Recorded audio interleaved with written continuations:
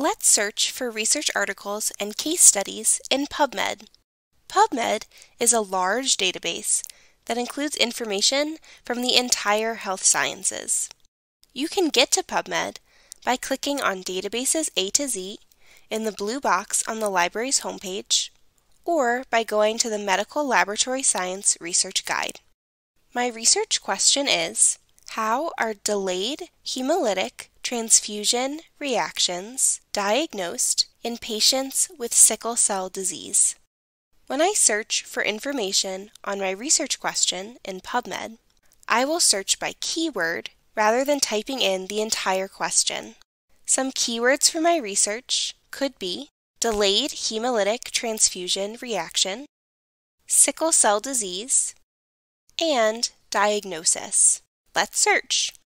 Once you have completed a search, you can filter your results on the left-hand side of the search page. First, I will change the date range to 2018 to 2023 to make sure my results are current.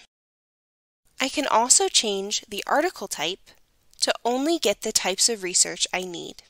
This is especially useful for case studies.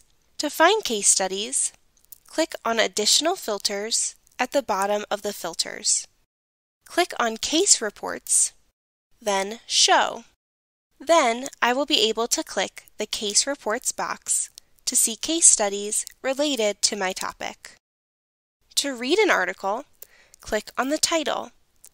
The full text link is at the right-hand side of the page.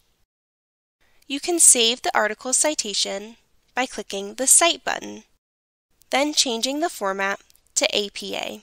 Look at the Medical Laboratory Science Research Guide for instructions on finding articles and case studies in other databases. And remember, librarians like me can help you develop research questions, brainstorm keywords, and get the resources you need.